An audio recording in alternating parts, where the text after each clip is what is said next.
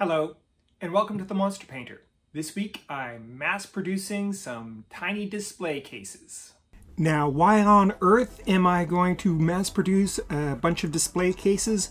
Well, Frostgrave is the reason. The Maze of Malachor, an exciting 12 part campaign, has been selected by my uh, Frostgrave group recently to be our current campaign.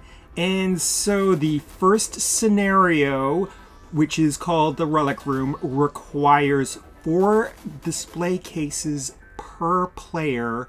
We've got eight players, so that's 32 display cases.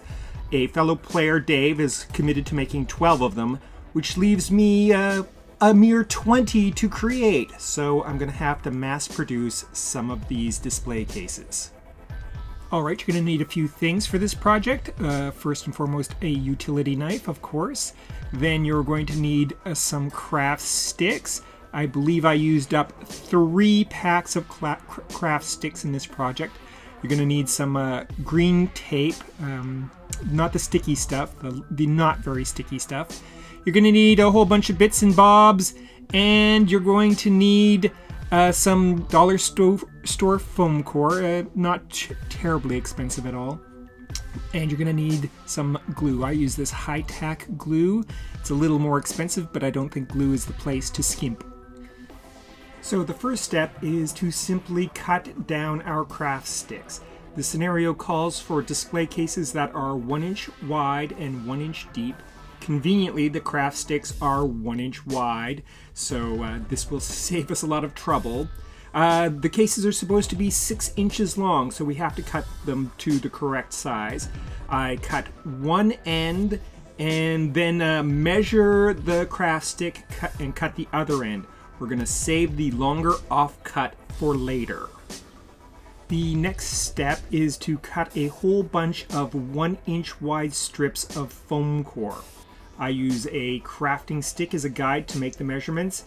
And in order to record this step, I had to shoot from a wider angle, shattering my carefully created illusions. And holy moly, look how bald I am! Wow, no wonder I'm always wearing a hat. Now I'm going to cut down those foam core strips into 6 inch segments. I'm going to use one of the cut down craft sticks as a guide and these foam core pieces are going to make up the body of the display cases.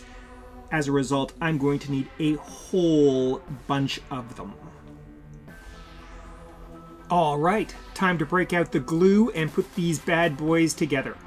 I will glue three of the cut foam core strips together in a stack. This will form the body of the display cases. Then, I will generously apply the glue along the side of the stack and attach the cut down craft sticks. I will repeat this on the other side of the stack, making up most of the, the display case. The next step is very important. I'm going to use some of the green masking tape to bind both ends of the display case together. This is going to act like a cheap and easy clamp.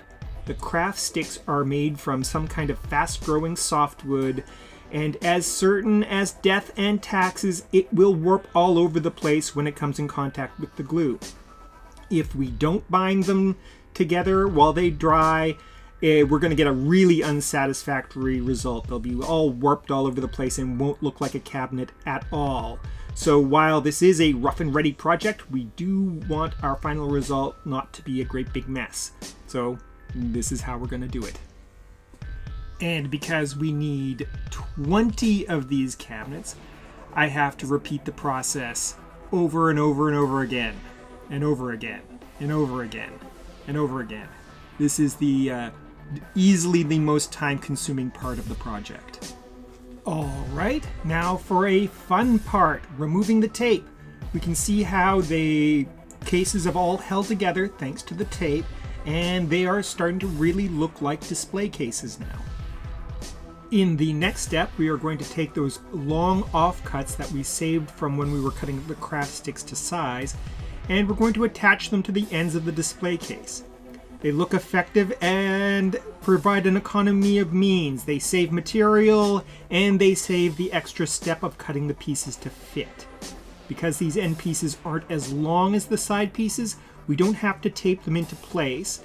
Whatever warping that occurs will be uh, much less pronounced and should not be a problem. Now for the final and funnest step, attaching the bits and bobs to be the objects in the display cases. I will be using a slew of game pieces that I have acquired over the years. I like to find cheap derelict games and raid them for the parts. And they are of a good size and fairly convincing as objects in a dis museum display case. Really, you could use any little fiddly bit that your heart desires and it'll probably work. So let your imagination run wild. I will not be painting anything in this project. The blonde color of the craft stick works well, and painting them would not make them look any more like wood. And the white of the foam core also looks like a typical museum display case, albeit a somewhat modern one.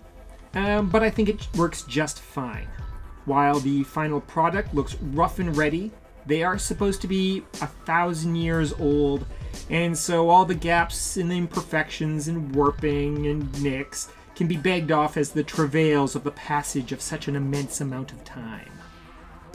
And here are all 20 of the display cases, looking very much like ancient uh, museum display cases, all ready for our Thursday night game of Frostgrave. And here they are in their natural habitat, the relic room of the Maze of Malcor, su the subject of a desperate struggle for treasure and arcane lore within the confines of a long ruined and abandoned University of Magic. Next week on The Monster Painter, I take a look at some cheap plastic animals for tabletop gaming. Remember to like, comment, subscribe, and ring the bell. Ring the bell.